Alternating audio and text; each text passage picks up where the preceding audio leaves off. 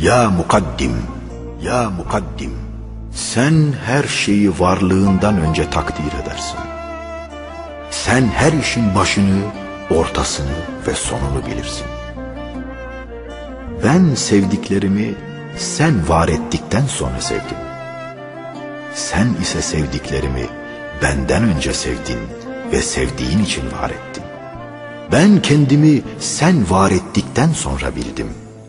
Sen ise beni var olmamdan önce bilirdin. Uğradığım her yerde zaten sen vardın. Tanıdığım her yeni alemi başından beri tanırdın.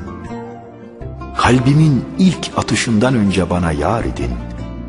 Ben kendimi sevmeye geç kaldım. Mukaddim sensin. Dilediğini dilediğine üstün kılarsın. Sensin mukaddim. Dilediğini öne alır, dilediğini sona bırakırsın. Önce yaptıklarımı, sonra yapacaklarımı bağışla. Başka ilah yok. Ancak sensin Allah.